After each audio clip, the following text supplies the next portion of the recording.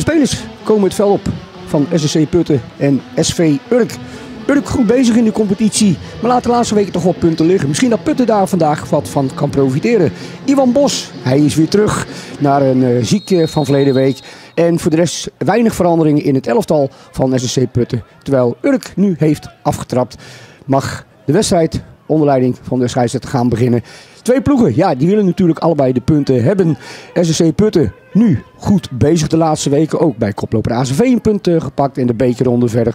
Nu tegen het hoge SV Urk. Die natuurlijk ook alles aan zal doen om vandaag de punten te pakken. En dan moet je natuurlijk oppassen voorin met Jelle de Boer en Hessel Snoek. Want die zijn gevaarlijke spelers. De eerste kans misschien voor Putten levert niets op. En uh, dan uh, mag Urk gaan uitverdedigen op zoek naar het doel van SSC Putten. Alleen Julian van der Brink steekt daar even een stokje voor. Kan de bal even overnemen. Nu een lichte overtreding. Nee, zegt de scheidsrechter mag doorgaan. Urk nu in balbezit. Komt de lange bal naar de linkerkant van het veld. Op zoek naar de opening. Maar beide teams houden het achterin natuurlijk heel gesloten. Schot gaat helemaal de verkeerde kant op. Nu Urk. Misschien met een aanval. Maar die wordt afgeslagen. Maar ook SSC kan daar niet veel mee doen. En kan Urk weer overnemen. Maar hard werken levert SSC wel balbezit op. Julian van der Brink. Balletje doorgeven bij uh, SSC, maar die komt niet goed aan. Kan Urk weer uitverdedigen. Urk nu met de inworp. Op zoek naar een gaatje in de verdediging. Maar dat zal niet meevallen omdat Putten heel goed verdedigt. Nu misschien wel de mogelijkheid. Overstapje. Uh, kansje. Nee, het is kappen en draaien. Moet de bal weer even teruggespeeld worden.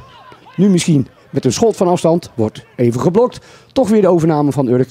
Bal naar de rechterkant toe. Moet de bal een keer goed voorkomen. Komt de bal voor. Kopbal. Maar die verdwijnt net over het doel heen. SSC nu. Kan Urk even uitverdedigen. Overname. SSC even met Amende. Bal door. Jagen van Julian van der Brink. Levert niets op. Alleen had wel een inworpen over. Putten op zoek naar de opening. Waar ligt de ruimte? Urk weer met een aanval. Kappen draaien. Huisman zit ertussen, maar een overtreding. Vrije trap. Wordt van richting veranderd. Gaat naast het doel. Levert Urk een hoekschop op. Hoekschop komt. Wordt ingekopt. Verdwijnt op de lat. Toch een aardige kans voor de Urkers. Maar de stand blijft nog steeds 0-0. Urk op zoek. Waar ligt de opening? Waar ligt de ruimte? Misschien nu. Als Tol de bal heeft, moet even terug. En dat gebeurt ook achterin met Jan Brands. Misschien nu wat ruimte. Komt er een voorzet. Die kan er makkelijk uitgehaald worden. Hoekschop voor Urk. Maar de doelman van Barneveld goed de bal uit de lucht plukt. Meteen de snelle omschakeling. Nou, Rick, Julian van der Brink krijgt hij dan de mogelijkheid om wat te doen. Moet nu wachten op hulp. Die krijgt hij ook aan de linkerkant van het 16 meter gebied. Maar dan zijn er weer genoeg Urkers terug. Misschien dan een schot. Ja, komt een schot, maar verdwijnt toch naast het doel. Urk probeert een aanval op te zetten weer. Nu misschien iets meer ruimte. Maar ja, dan levert dit niets op. Want het is goed uitverdedigen van SC Putten. Nu misschien een mogelijkheid. Nou, vasthouden. Nee, zegt de scheidsrechter. Ik zie daar niets in. Weer SSC Putten. Balletje even binnendoor. Maar goed verdedigen van Urk. Kan er misschien wat ruimte gevonden worden. Die vindt men ook. Uh, maar de bal gaat te ver naar de zijkant toe. Moet er een voorzet gaan komen. Komt de voorzet. Kan er wat mee gedaan worden? Ja, ingezet. Maar Amende weet de bal weg te werken. Nu misschien een snelle omschakeling van SSC. Nee, want Urk zit er fel bovenop. Komt de bal weer terug het 16 meter gebied in. Nou, kansje. Nou, ook nu de bal te ver naar de zijkant toe. Zijn er weer genoeg mensen terug van SSC Putten. Misschien vanuit de tweede lijn een keer schieten. Ja, overtreding. Maar die vrije trap leverde niets op. Nu SSC weer. Daar zit de doelman goed bij. En kan Urk even uitverdedigen. Lange halen. Nu bal naar de linkerkant van het veld. Komt er de voorzet. Kan er wat mee? Nee, de doelman zit er goed bij.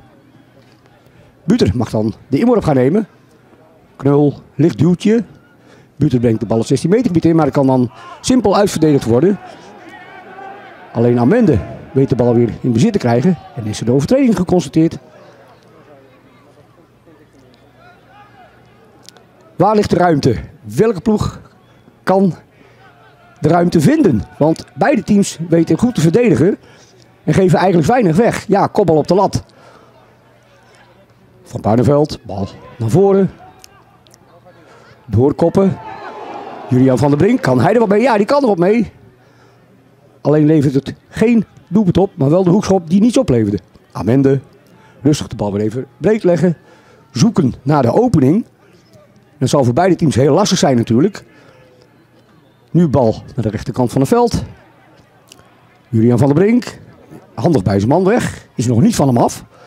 Kan hij met de voorzet komen? Nee, hoekschop weet hij eruit te halen. Hoekschop wordt uh, kort genomen.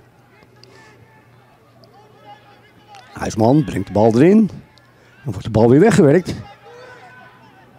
Kan het opnieuw proberen. Nu Rick van der Brink. Nou, probeer maar eens met de voorzet. Nou, komt de bal voor. En dan wordt de bal van richting veranderd door Klaas Kramer. En verdwijnt de bal in het doel.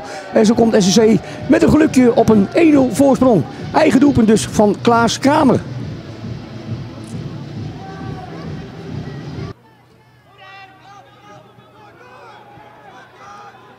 Urk dus nu op zoek naar de aansluitingstreffer.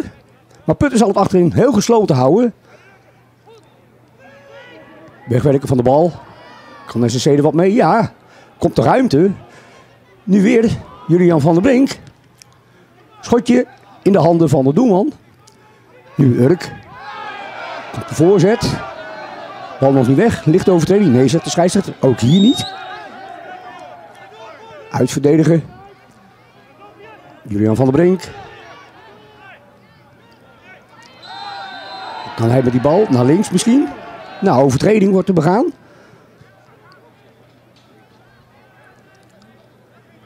Urk dus op zoek naar de gelijkmaker. Maar het zal niet meevallen. Tot aan een 16 meter gebied uh, wilde het wel. Maar echte grote kansen, nee, die komen er nog steeds niet. Tweede helft gaat beginnen. SSC heeft daarvoor afgetrapt. En weet SSC de 0 te houden. Kan het zelfs de voorsprong verdubbelen. Of weet Urk terug te komen in de wedstrijd. Twee ploegen dicht bij elkaar. SSC nu eruit via de linkerkant van het veld. Thomassen zoekt de rechterkant op. Maar Urk kan uitverdedigen. Nu misschien.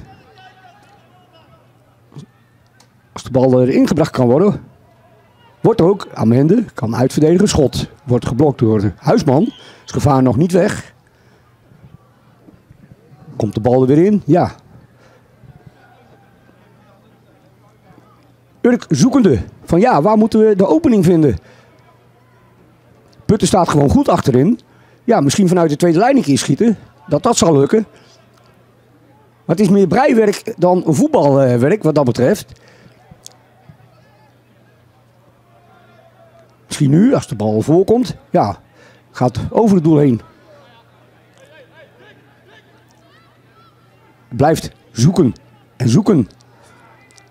Waar vinden we de vrije man? Misschien nu, als de bal voorkomt. Maar ook Van Barneveld zit daar weer goed bij. Meteen bal ver naar voren. Ik hoop dat hij even goed terecht zal komen.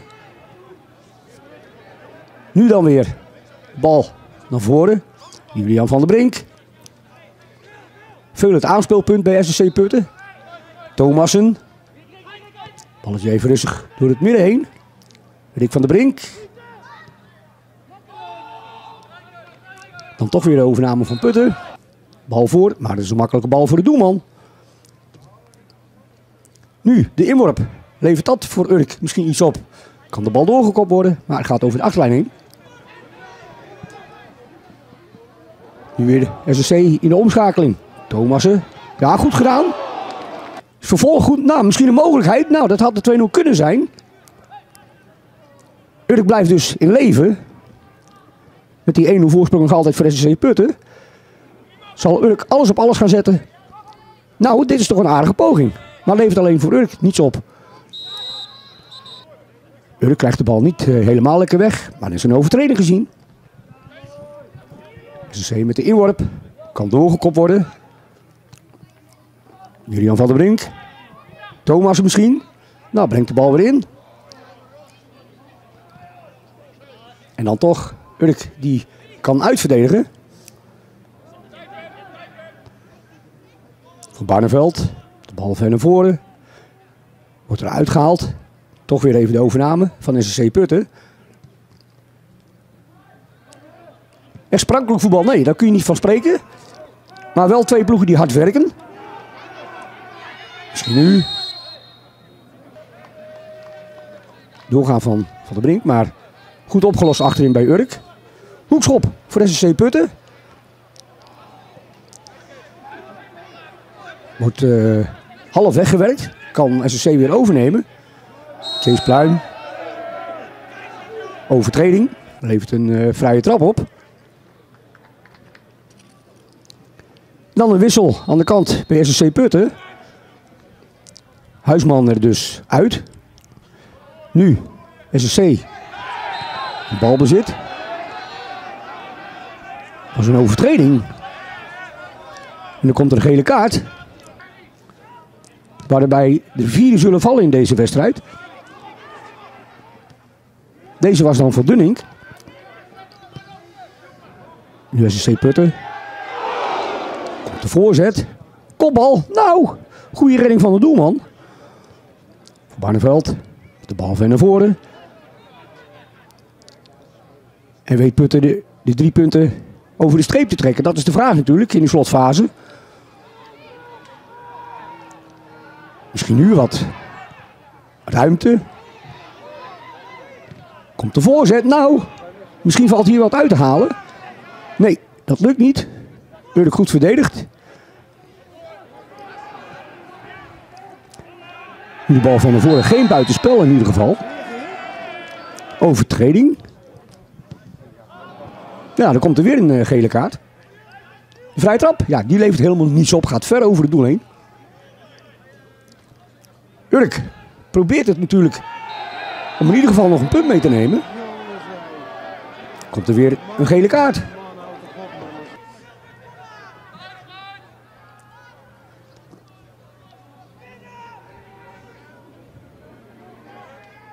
Urk zet alles op alles. Misschien dat hier de mogelijkheid komt. Nee, die komt er ook niet. Ja, doorgaan op uh, de doelman. Maar het mag doorgaan. Even wat geruzie. Maar de scheidsrechter lost het goed op.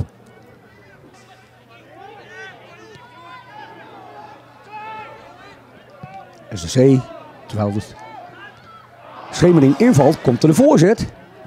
Kopbal. Maar die verdwijnt over het doel. Urk nog een keer. Kan het nog wat? Pluim. Ja, daar geblesseerd. Mag even doorgaan. Maar dan besluit de scheidsrechter toch even spel stil te leggen. Komt de bal nog een keer 16 meter gebied in. Doelman goed in de lucht. En dan is het einde en wint SSC Putten met 1 tegen 0 van SV Urk. En doet daarmee goede zaken.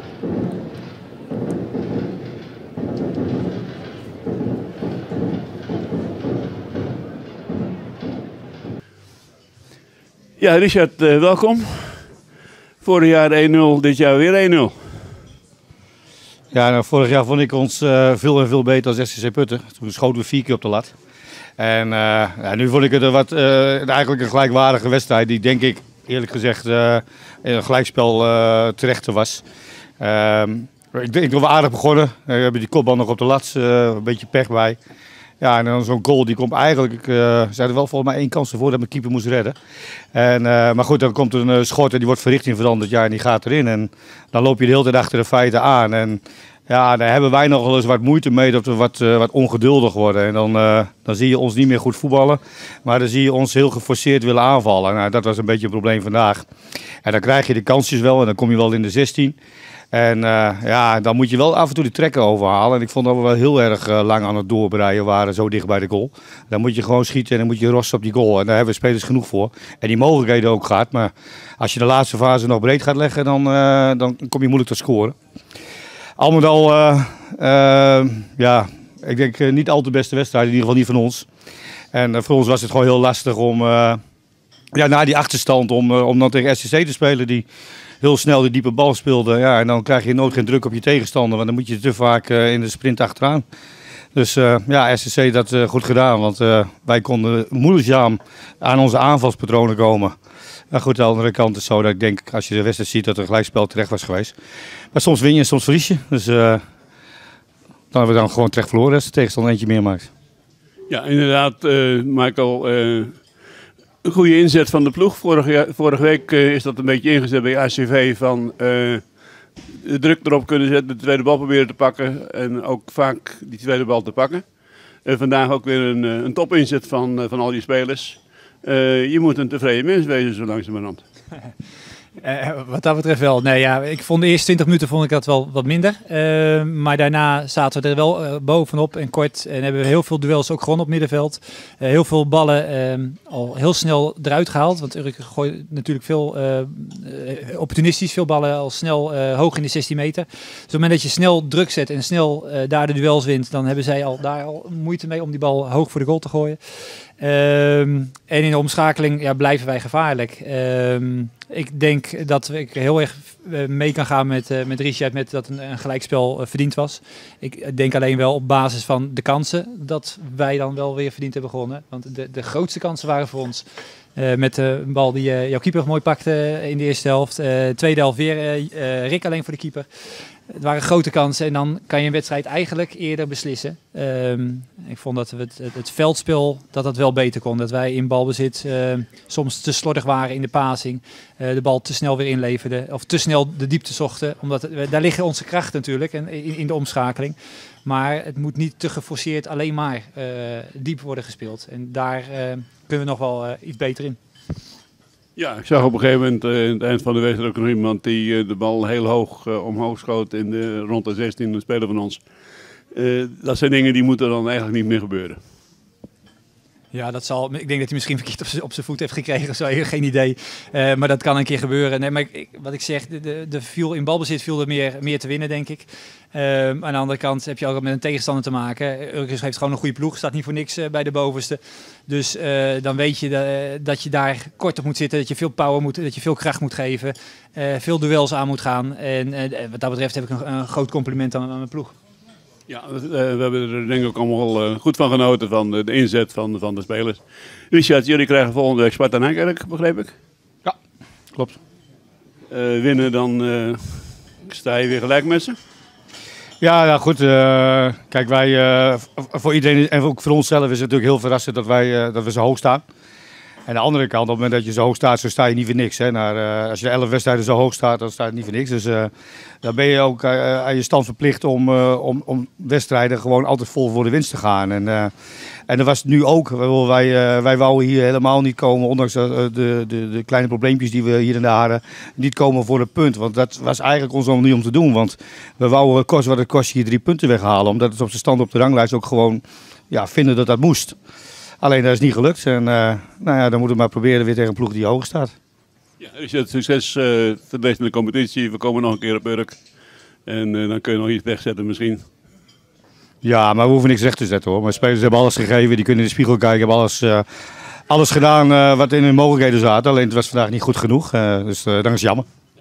Oké, okay, bedankt. Michael, de werk aan naar Berkum volgende week. Ja, als we daar winnen, dan gaan we eroverheen. Ja, dat klopt. Niks te Nee. Helemaal goed. Goed, uh, iedereen bedankt voor, voor de aandacht. Dan eventjes uh, om uh, lekker stil te zijn en om te luisteren naar wat de heren te vertellen hebben. Iedereen een goed weekend. En heren bedankt.